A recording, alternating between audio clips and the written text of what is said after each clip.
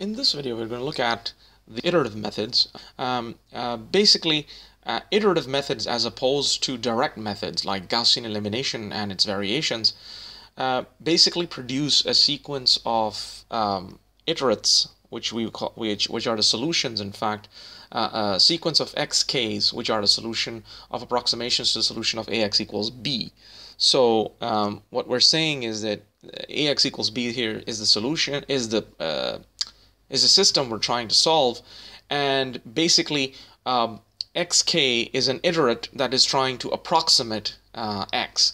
So in theory, if, uh, if we call x hat the exact solution, so if this is the exact solution to ax equals b, then we can say that each iterate is an approximation uh, to the true solution. Therefore, we would expect that um, in theory, uh, as k goes to infinity, this would eventually equal the uh, exact solution.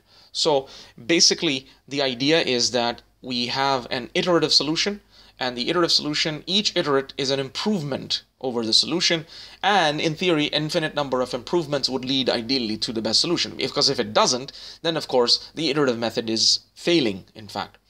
So um, in, in a nutshell, that essentially is the idea of uh, uh, the iterative methods. So basically, we have a box you can imagine, and we and basically this box produces um, an x uh, k iterate goes in, and out comes the x k plus one iterate.